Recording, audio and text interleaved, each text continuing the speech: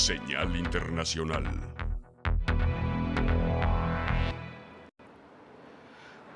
Rusia intensifica su ofensiva en Ucrania con bombardeos contra la ciudad de Kharkov. Rusia más beligerante que nunca en el sexto día de combates desde que lanzó el asalto a Ucrania y al día siguiente de iniciar negociaciones con el gobierno de Volodymyr Zelensky. Tras ser repelidos de Kharkov, la segunda ciudad ucraniana, los militares rusos han redoblado sus bombardeos, causando numerosas víctimas, muchas de ellas civiles. Contra todo pronóstico, el ejército ucraniano está resistiendo en muchos de los frentes abiertos por uno de los ejércitos más poderosos del mundo. Anoche comenzó el asalto a Gerson, una ciudad de 300.000 habitantes a orillas del Mar Negro y junto al río Dnieper. Mientras tanto, la batalla de Kiev está cada vez más cerca. Un gigantesco convoy militar ruso de 64 kilómetros de longitud está a sus puertas, según muestran las imágenes de satélite. Son carros blindados, artillería, camiones cargados de soldados. El presidente Zelensky denuncia que las fuerzas rusas han disparado hoy brutalmente contra Kharkov con artillería de obuses. Es claramente un crimen de guerra, dice. Hay muchas imágenes y testimonios de zonas civiles que han sido alcanzadas por misiles rusos o fuego de artillería. Tras una noche infernal, la luz del día muestra la crudeza de la guerra en la ciudad norteña de Chernihiv.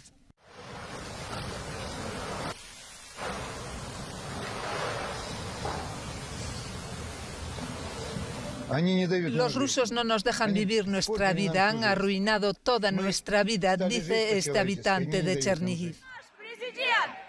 Mientras tanto, los ucranianos muestran poca simpatía por las tropas rusas en las ciudades que han ocupado. En Berdiansk, cientos de civiles se mantuvieron firmes ante varios tanques rusos. Más de 6.000 detenidos dejan las protestas en Rusia contra la invasión en Ucrania.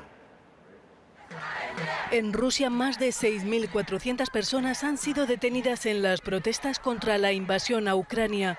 El Kremlin ha dado orden a la policía de detener a los manifestantes. El mayor número de arrestados se concentra en Moscú, la capital, y en otras ciudades como San Petersburgo o Nizhny Novgorod.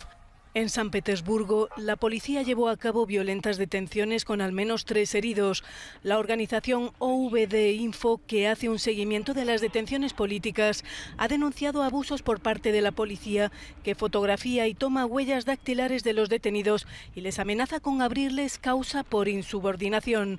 Pese a ello, cientos de miles de rusos salen a las calles a protestar en contra de la guerra desde el pasado jueves.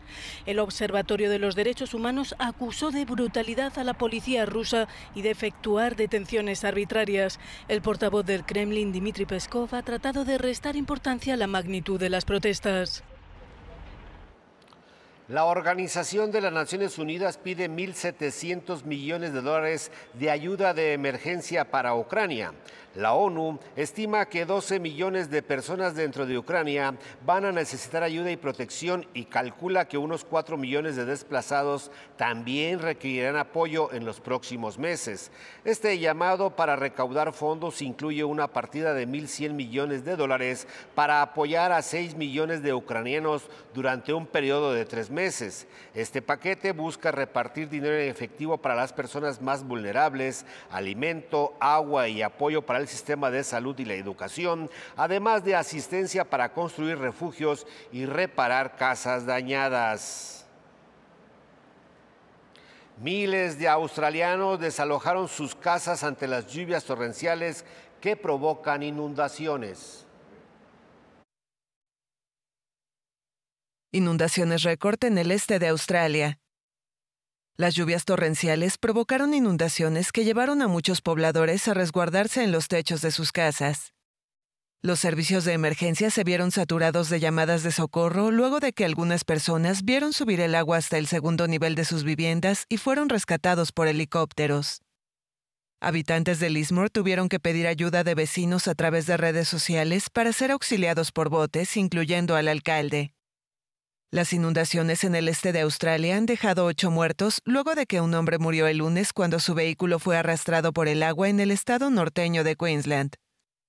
La Oficina Meteorológica Nacional alertó de más aguaceros que podrían provocar nuevas subidas de agua en gran parte de la zona costera central.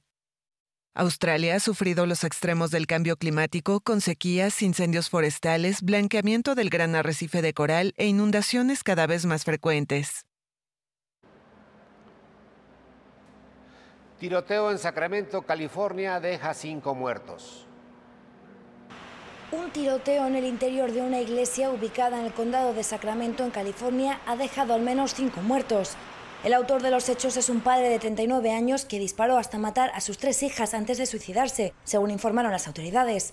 La cuarta víctima es un miembro de la iglesia que acompañaba a la familia dentro del templo y aún resta por conocerse si existía algún tipo de relación personal entre el asesino y esta persona. Por su parte, la madre de las pequeñas está viva y continúa trabajando con la policía, a quienes informó de que ya había presentado una orden de alejamiento contra el padre. Ahora la policía también está investigando si hay alguna vinculación de la familia con el templo religioso donde se han producido los hechos, mientras continúa buscando testigos. Además, las autoridades desplegaron un importante dispositivo policial, acordonaron la zona y revisaron las cámaras de vigilancia de la iglesia.